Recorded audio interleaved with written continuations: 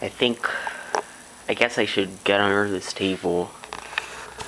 Because that's what the warnings always say to do. Um, so right now, I'm in a room in my basement by the stairs, taking cover from, um, what could be a tornado, cause there hasn't been a tornado touchdown just yet. But I'm just saying what the warnings always say to do. So, that's it for now.